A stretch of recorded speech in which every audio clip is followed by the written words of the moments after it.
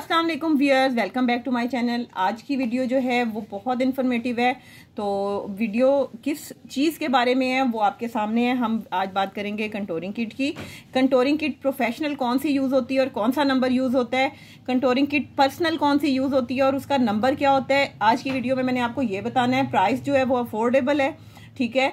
Christine company है, बहुत बड़ा से बड़ा ब्रांड भी जो मेकअप कर रहा है ना, वो भी कंटोरिंग किट जो है, वो क्रिस्टीन की यूज़ कर रहा है। इसके अलावा रिवाज की जो है, वो कंटोरिंग किट यूज़ हो रही हैं, वो भी मैं आपको दिखाऊँगी। लेकिन आज मैंने कहा, पहले प्रोफेशनली यूज़ होने वाली कंटोरिंग किट भी आपको दिखा दूँ और पर्सनल यूज़ होने वाली भी। यानी जो आप कैजुअल भी यूज़ कर सकते हैं, आप पार्टी में भी यूज़ कर सकते हैं। ठीक हो गया?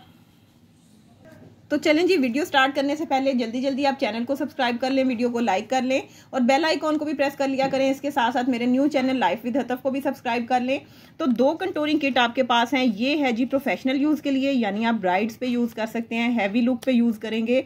जब आप हैवी बेस बनाते हैं तो आप इस कंटोरिंग किट को यूज़ करेंगे।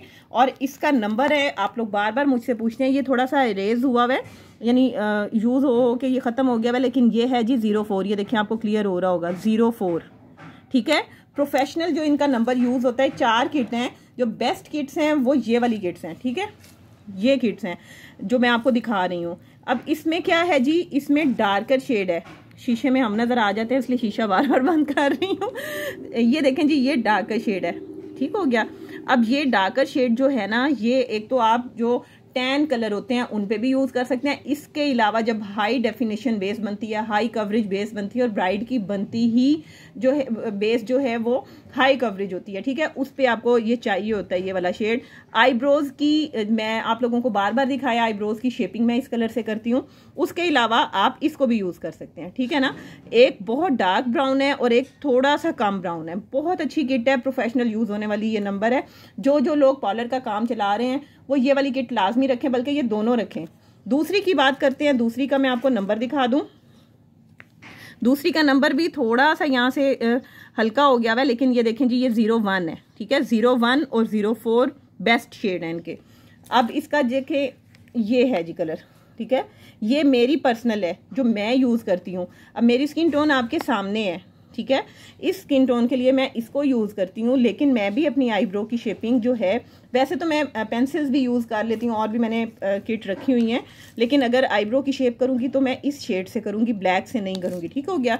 लेकिन कंटोरिंग जो है वो ये बेस्ट है। देखें अब ये कम यूज़ हुई हुई है, क्योंकि इसको मैं ही यूज़ करती हूँ और जो पार्टी मेकअप के लिए यूज़ हो रही है, वो तो मेरी बिल्कुल ख़त्म होने वाली है।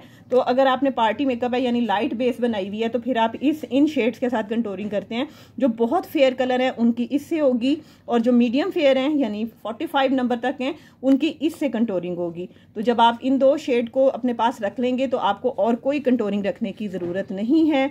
ये बेस्ट नंबर हैं, जो मैंने आज आपको बता दिया। आप लोग मुझसे बार बार पूछते थे, मैंने कहा आज आप लोगों की प्रॉब्लम जो है ना, वो मैं इस तरीके से सॉल्व कर दूँ, कि मैं आप लोगों को दिखा ही दूँ दोनों शेड कि ज़ीरो फोर जो है वो प्रोफेशनल यूज़ होने वाला और ज़ीरो वन जो है, आप नॉर्मल भी यूज़ कर सकते हैं। लाइट सी अगर आपने बेस बनाई हुई है या आप कहीं जा रहे हैं कैजुअल कोई कहीं पे जा रहे हैं या कोई छोटी सी पार्टी है तो आप उसके लिए इसके साथ कंट्रोलिंग कर सकते हैं क्योंकि इतनी हैवी बेस नहीं करते आप। ठीक हो गया?